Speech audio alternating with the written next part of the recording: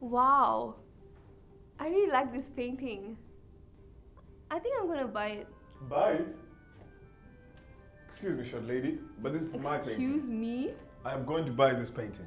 I'm going to buy this painting. I don't care. Let's settle it then. How do you want to settle this? Rock, paper, scissors? Rock, paper, scissors, shoot. Rock, paper, scissors, shoot. Rock, paper, scissors, shoot. Rock, paper, scissors, shoot. Ah, I win. 5,000? What? This is overpriced and overrated anyways.